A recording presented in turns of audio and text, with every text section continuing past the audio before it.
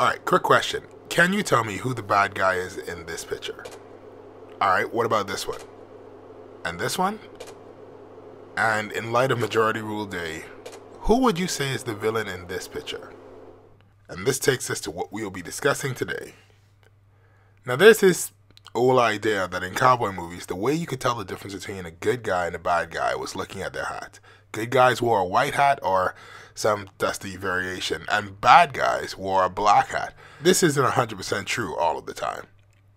However, in film, there are often some nonverbal cues that alert when someone is the villain of the story.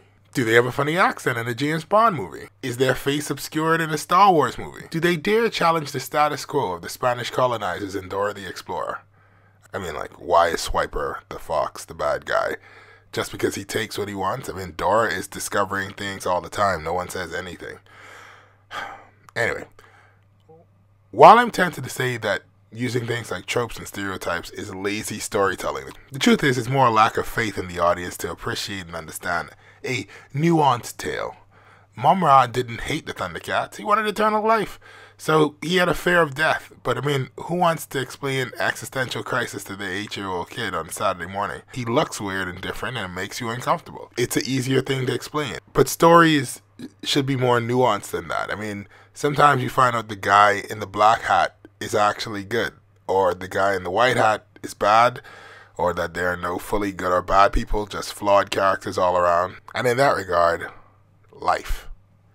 That is to say, life is also nu- nuance and stuff. It, it, life is similar. So, w- what's the point? Majority rule. Did majority rule in 1967 have anything to do with race? Yes. But, I mean, there were black people fighting for the UBP and white people fighting for the PLP. So, although race was involved, I'm inclined to believe that it wasn't solely that. Also, didn't you watch the other videos explaining the superficial nature of race? I mean, come on, guys. I personally believe that it had to do with power and the redistribution of it to the majority.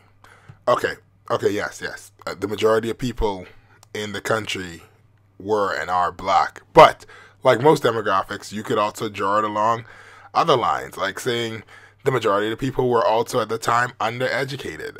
The majority of people didn't own property, and the majority of people had no real power. Now, whether that power was money, opportunity, a say in how the country was run, that is what the majority came to achieve. Right? Okay, yes, we're closer, but let's not read the fact that we got everyone to wear white hats as a victory.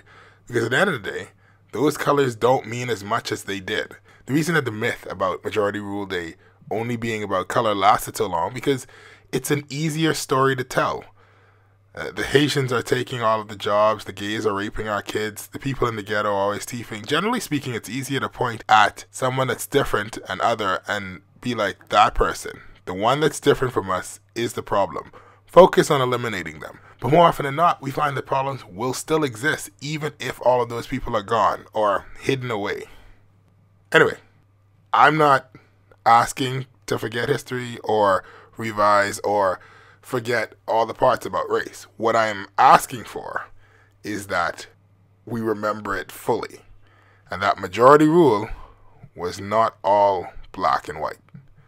Because sometimes the bad guy is wearing the same color hat as you. Why?